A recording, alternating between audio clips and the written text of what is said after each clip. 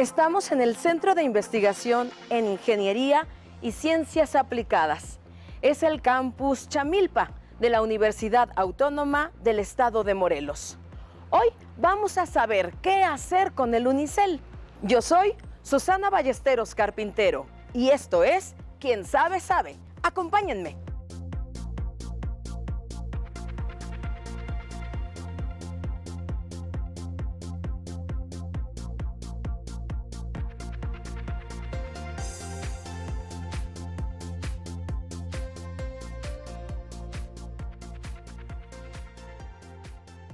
Estamos con la doctora Carmina Menchaca.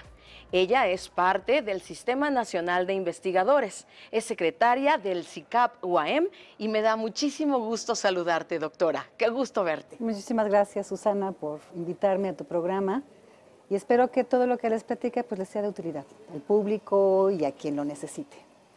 Pues estoy segura que sí, porque vamos a empezar de algo muy básico. Hemos hecho una tarea como, como de pepenar Exactamente. Y es justo ir aprendiendo a separar la basura y en muchos de los casos reutilizarla o darle un siguiente ciclo a la utilidad. Un valor agregado, le decimos, cuando tenemos un material que podemos volver a utilizar. Y disminuimos costos, evitamos gastos de energía y finalmente ese material sigue su ciclo de vida útil. A mí me sorprende en lo particular el unicel, porque hemos escuchado hablar pestes de él. Sí, el unicel es un polímero, eh, bueno, un plástico comúnmente conocido. Un polímero es una molécula gigante, una molécula enorme que por sus propiedades, por su tamaño, tiene propiedades específicas, se comporta de manera diferente que, los, que las sustancias normales.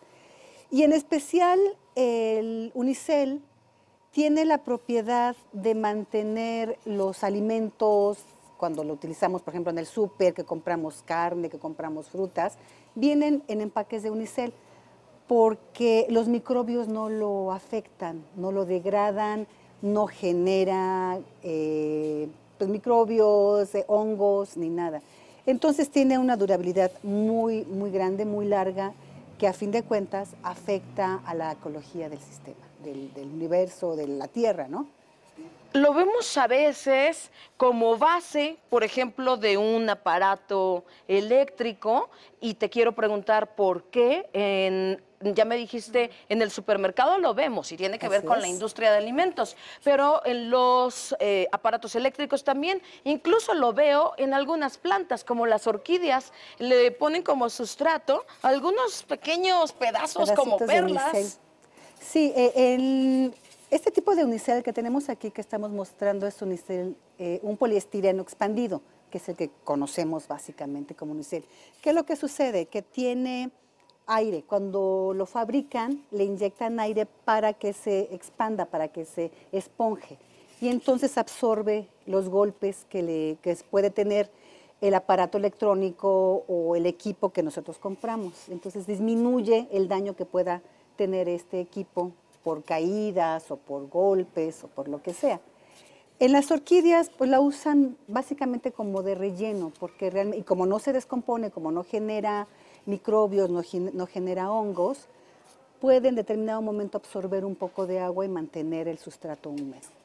Entonces sí son muchos los usos que le podemos dar al unicel, pero tengo otra duda. He escuchado que se tarda eh, en, desaparecer, en degradarse de la tierra. ¿500 años? Pues tiene su lado oscuro, el unicel también. No, solo es todo maravilla, ¿no? También tiene, eh, precisamente por sus propiedades tan, tan lindas, mecánicas, estructurales, químicas, microbiológicas, pues tarda mucho en degradarse, en deshacerse, como comúnmente lo conocemos, en que los microbios lleguen y lo vayan deshaciendo en moléculas más pequeñas. Y bueno, lo que estamos nosotros buscando es otro uso para el unicel, reciclarlo. Hay métodos ya para reciclar el unicel, sin embargo son mecánicos, o sea, lo deshacen, lo funden y hacen otros, eh, otras cosas que sirven también como eh, tapetes, como chalecos, eh, vestimenta, etcétera, ¿no? Lo que nosotros queremos hacer con este material, en específico este unicel, es generar otro polímero que sea degradable. Tengo que interrumpirte para preguntarte una cosa. ¿Polímero es sinónimo de plástico? Estrictamente no, pero como lo conocemos en la vida diaria, sí. Eh, Pero este plástico no es igual a, este, tampoco al que llamamos PET. Todos los, a todos le decimos plástico, pero cada uno de ellos es diferente, cada uno de ellos tiene sus propiedades, su método de elaboración, su método de procesamiento, su método de descartarlo, ¿no? Como diríamos, desecharlo. Bien, y entonces si pensamos en tu línea de investigación, en tu trabajo, tú estás conociendo la estructura molecular de los polímeros. Así es. Y, cuando nos referimos a polímeros, ahí sí estamos hablando de la forma en que se encadena una molécula, que da origen al unicel. Así es, exactamente. Vemos cómo se unen los átomos entre sí, forman, es como un eslabón, como una cadena, como un eslabón de una cadena, como la cadenita que traes aquí, que son como eslabones que se van uniendo y que nos van formando ininterrumpidamente, por supuesto, y nos van formando una molécula grande. Y eso es lo que nos da las propiedades específicas de los polímeros. Tenemos muchos tipos de polímeros. En la vida diaria los utilizamos mucho. ¿Qué conocemos como plásticos algunos, como estos o los enseres del hogar, los toppers en los que guardamos también la comida, eh, en, la ropa de deportes, de natación. ¿El nylon? El nylon, la vestimenta, nuestra ropa está hecha de polímero, que entonces ya no le llamamos plástico. El, nylon, la seda, el rayón, la lana, eh, la viscosa, la poliamida, todos estos materiales de los que están hechos nuestra ropa son polímeros finalmente, ¿sí?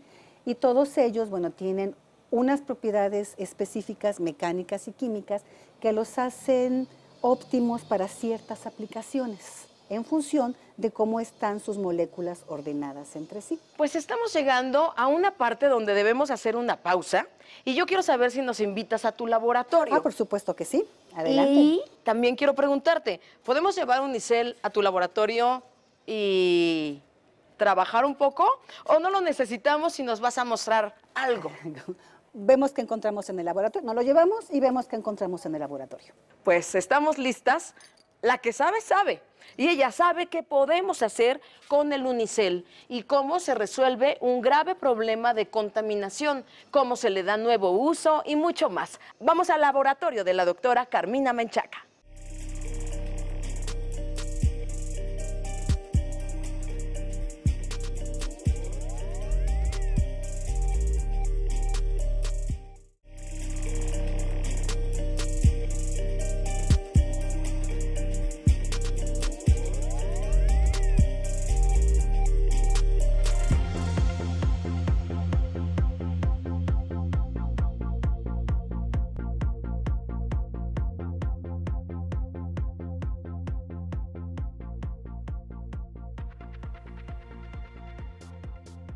Pues ya estamos en tu laboratorio, doctora.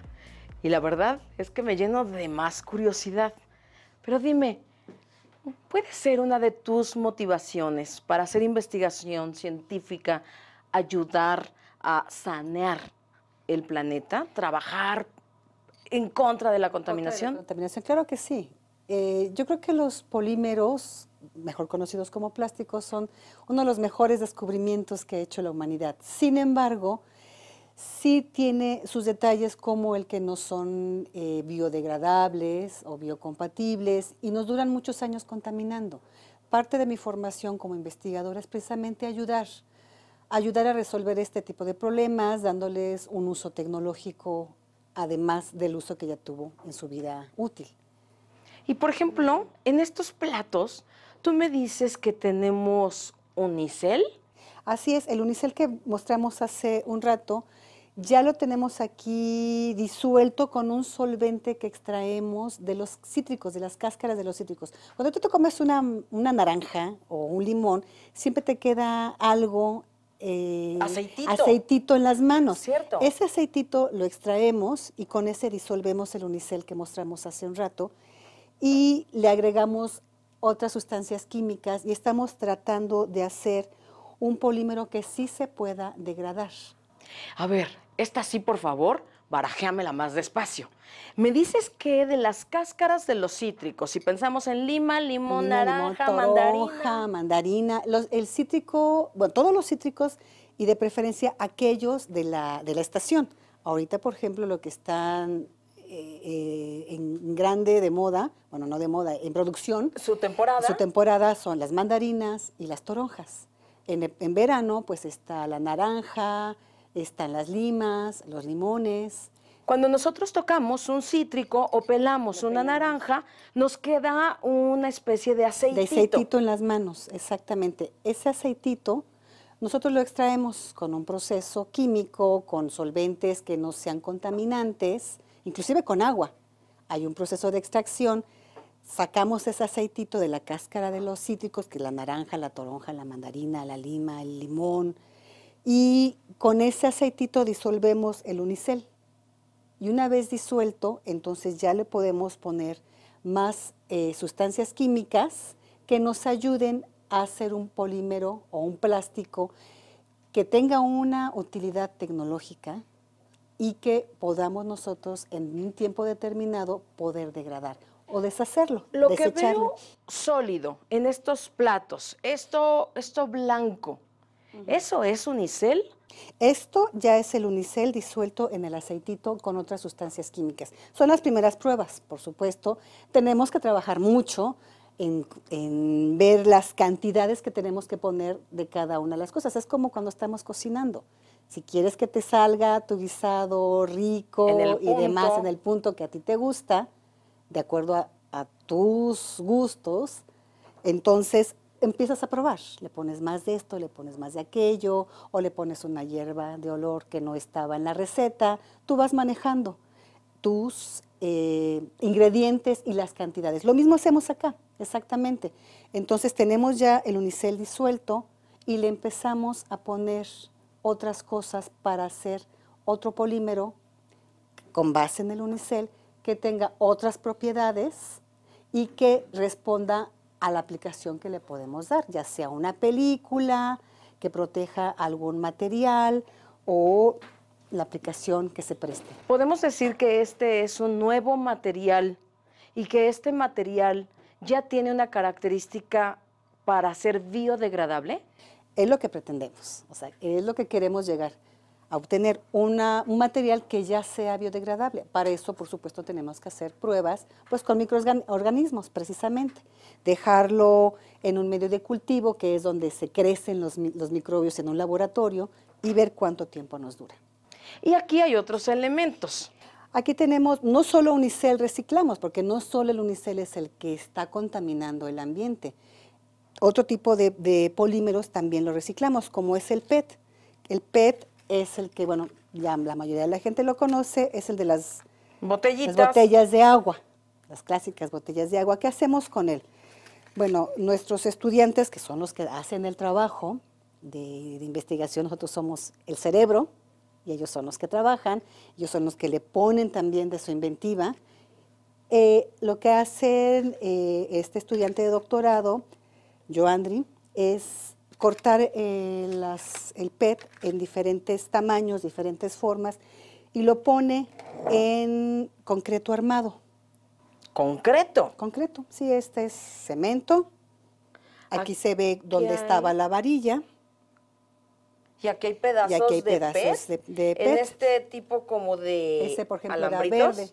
Eso- estos alambritos son, son del PET. Y que buscan, al combinar estos pequeños filamentos de PET en el concreto. Lo que buscamos es precisamente que los elementos metálicos sufran menor corrosión, que sea una barrera que impida que la humedad o cualquier eh, sustancia corrosiva, dependiendo en dónde se esté utilizando el concreto, llegue a las varillas y las corroan y produzcan eh, colapsos o mal funcionamiento de las edificaciones o de lo que se está utilizando. Al, poner eh, el PET aquí, estamos disminuyendo también el peso. Es más ligero. es más ligero, por supuesto, porque estamos sustituyendo una parte del concreto, del, del cemento, una, una fracción de, lo que, de los agregados que lleva el cemento por PET, y entonces estamos disminuyendo el peso. Pero entonces aquí también van a figurar las varillas. Claro, claro. Cuando decimos que va a haber menos corrosión, y si aprendí muy bien de mi maestro, el doctor Jorge Uruchurtu, entonces quiere decir que se va a oxidar menos. Se va a oxidar menos. Durará más, por lo tanto. Va a impedir que el material se empiece a descarapelar, a formar la herrumbre que conocemos como herrumbre, que es, pues son los productos de corrosión del metal. Esto puede ser una aplicación del conocimiento. Claro que sí. Además no le quita las propiedades de resistencia, o sea, sigue siendo igual de resistente, entonces no hay ningún problema. En este momento quiero recordar que el CICAP es el Centro de Investigación en Ingeniería y Ciencias Aplicadas. A veces, discutiendo con muchos de los que saben y las que saben, hemos encontrado que la ciencia básica no debe ser única y la ciencia aplicada no debe ser la privilegiada. Es una combinación que nos permite tener una sana convivencia y con esto encontramos en el conocimiento progreso y muchas ventajas para vivir de manera más amigable, con comodidades y también con respeto ambiental. Así es. Podemos platicar de un caso más que tiene que ver con ¿Energía solar? La energía solar, claro que sí. ¿Pasto también? Con pasto también. Bueno, pues entonces debemos hacer una pausa. Esto es, quien sabe, sabe. Enseguida regresamos.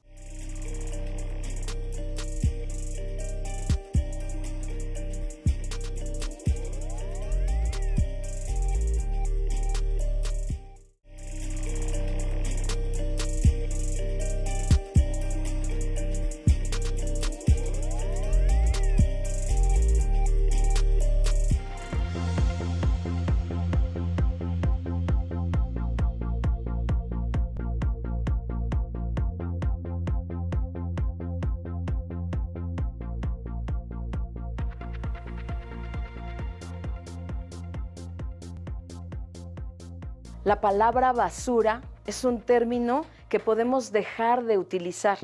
Si aprendemos, si nos educamos, si la cultura nos va invitando a separar, a transformar, a reusar, doctora Carmina Menchaca, saber todo lo que sucede en este laboratorio, la verdad es que llena de ilusión, de esperanza y de mucho trabajo, ¿cierto? Así es, mucho trabajo con los estudiantes. Afortunadamente tenemos muchos estudiantes con muchas ganas de trabajar, que es lo importante, con mucho ímpetu, con muchas ideas también.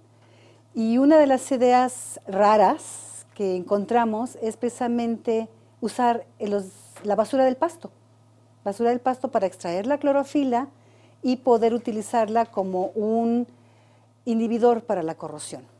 Es decir, yo corto el pasto, podo mis árboles y toda esa hojarasca. Toda esa hojarasca la podemos meter en alcohol, la metemos en este aparato, bueno, ahorita no está funcionando, pero aquí podemos separar la clorofila. ¿Recuerdas que hay chicles que tienen sabor clorofila, mm, que te refrescan el aliento? Bueno, lo podemos extraer en este aparato y utilizarlo con un polímero de desecho también para, como inhibidor para la corrosión. Aquí tenemos una clorofila extraída de ficus, de hojas de ficus. A ver, si trato de decir, la clorofila que extrajeron del el pasto podado, vienen a procesarla en este aparato. Ajá. De aquí, de aquí lo extraemos del pasto o de aquí la extraemos de las hojas. De aquí, extraen la clorofila. Y luego a la clorofila, ¿cómo va la parte en que la combinas con otras moléculas como de polímeros? Con otro polímero de desecho de la industria automotriz, en la industria de las autopartes, muchas de las partes de nuestro, de nuestro coche está hecha de polímeros, de plásticos los tableros, las carcasas de los, de los eh, espejos, eh, algunos asientos, los tapetes. Y estos son las rebabas que quedan de cuando hacen estas partes. Si no lo aprovechamos, también le podemos decir basura. Y entonces la propuesta aquí es Mezclar esta clorofila que obtenemos del pasto o de las hojas de los laureles, mezclarla con este polímero y hacer una película que recubra los materiales, los metales y evitar o retardar la corrosión. película. El término película lo ocupamos para decir Un recubrimiento. recubrimiento delgado, de menos de un centímetro de espesor, milímetros. Y ese recubrimiento delgado, esa película, va a evitar desgaste de otro material, Así es. corrosión. Corrosión va a generar una eh, barrera que impida que pasen los elementos corrosivos, ya sea el agua, ya sea el aire que trae contaminantes. Óxido. El, el óxido es el que se forma en el metal con estos productos contaminantes. Entonces va a haber menos. Va a haber menos porque va a impedir el paso. Y si además le ponemos un inhibidor, un material que funciona en cuanto llega algo externo que quiere atacarlo, entonces dice, espérame, aquí estoy, aquí no pasas. Puede Esa es la- proteger. protege el material, el metal. Bien. Y entonces esta es otra línea de investigación. Otra línea de investigación aprovechando la basura, así como tenemos con este mismo material de desecho y otros polímeros que se utilizan en la industria automotriz, también los queremos aplicar y estamos haciendo pruebas ya para aplicarlos en calentadores solares de agua. ¿Y esa aplicación cómo sería? El calentador solar de agua tiene básicamente dos partes. El tanque donde almacenas el agua caliente y los tubos por donde circula el agua que reciben la radiación solar y se calientan. ¿sí? En esas dos partes podemos incidir. En el eh, tanque almacenador de agua caliente lo que queremos hacer es este material de desecho junto con el de las alfombras, por ejemplo, de los vehículos, hacer una especie de sándwichito que sea que evite la transferencia de calor, que mantenga caliente el agua dentro del, del tanque, disminuir cantidad de material que se utiliza, porque los tanques están hechos de acero, de acero inoxidable, una capa aislante y afuera otro metal. Entonces, quitar estas capas de metal que hacen pesado el tanque y aumentar la eficiencia térmica, es decir, disminuir la transferencia de calor del tanque del agua caliente hacia el exterior.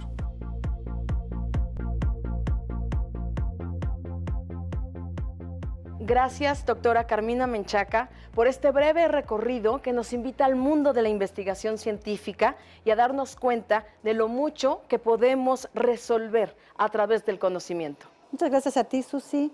Gracias por permitirnos llegar a tu público, que la gente se entere de qué hacemos en este centro de investigación en Ingeniería y Ciencias Aplicadas. Las puertas están abiertas cuando tú quieras venir. Muchísimas gracias. Esto es Quien sabe, sabe. Yo soy Susana Ballesteros, carpintero.